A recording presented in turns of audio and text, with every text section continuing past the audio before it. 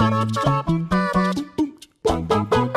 A great, truly surprising cameo can help take a film to new heights, like with Bill Murray's incredible scene in Zombieland or Glenn Close playing the pirate Gutless in Steven Spielberg's Hook. On both occasions, though, the actors were credited, but it gets you thinking there must have been tons of actors who shunned the spotlight in order to hide their cameos in films, right?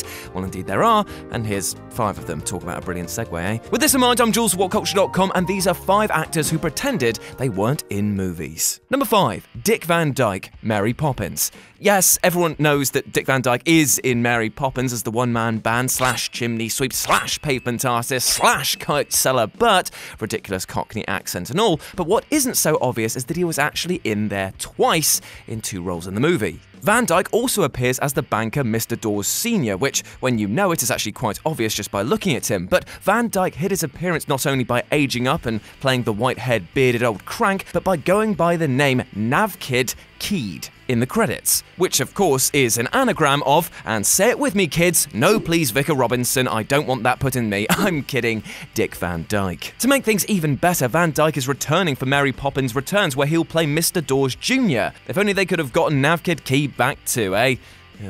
Number 4. Keanu Reeves Freaked. Freaked is, well, let's just say it's a very early 90s film, and you shouldn't really be bothered by it except for the fact that it contains a Keanu Reeves appearance. The movie centers on Ricky, who, thanks to the movie's bizarre events, is turned into a freak and put on display at a theme park sideshow where he's the new star attraction outside of the Black Hole of Calcutta attraction, aka Your Mum's Vagina. There's my one per list. Before his arrival, though, there was already a top dog at the show, Ortiz the Dog Boy, who becomes Ricky's rival. What wasn't discovered, no thanks to it being uncredited in the role, was the fact that it was none other than Keanu Reeves under the fur. Not that he'd exactly be howling at the moon to let people know about this rather odd film. Number 3. Tilda Swinton, Suspiria. The Suspiria remake that's coming out this year already looks like it'll be a great movie, and part of that comes from the impressive cast that's been assembled, which includes Dakota Johnson, Tilda Swinton, Mia Goth, Chloe Grace Moretz, and Lutz Ebersdorf.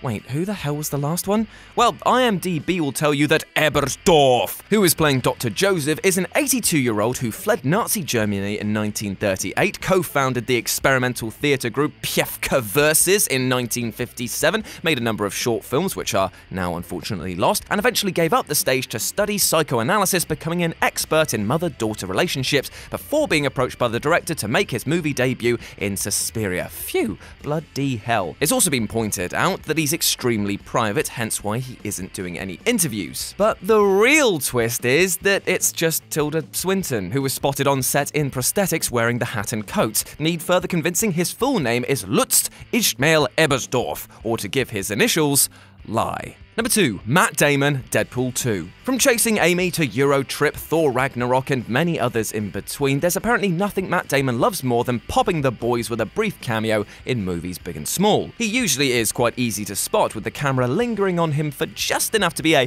nudge nudge, wink wink, look who it is moment, but that wasn't the case with Deadpool 2. Indeed, until recently, most people hadn't even realised that he was in the movie. Damon, who was credited for the movie as Dickie Greenleaf, plays one of the redneck brothers who has a discussion about toilet paper with cable. On the movie's Blu ray release, one of the writers mentions, so we thought, well, what caliber actor would we need to do a scene where two rednecks talk about wiping themselves after spending some time in the toilet? Of course, you have to have somebody Oscar caliber doing that bit. Matt said that he was very receptive, so Ryan ended up sending him the pages. Matt called back and said, I'm in. And number one, Gary Oldman in Hannibal. Gary Oldman is no stranger to changing his appearance for a movie, which led to his Oscar for Darkest Hour, but the makeup went above and beyond for Ridley Scott's Hannibal. Playing the role of Mason Verger, a wealthy child molester and the only surviving victim of Hannibal Lecter who was left horribly disfigured by their encounter, Oldman wasn't the first choice for the part, but landed it after Christopher Reeve turned it down. Oldman initially wanted higher billing on the movie and briefly left the project after being told that it wasn't possible. Eventually, though, he agreed to do it uncredited, with Oldman saying it allowed him to do it anonymously, as well as being completely unrecognizable.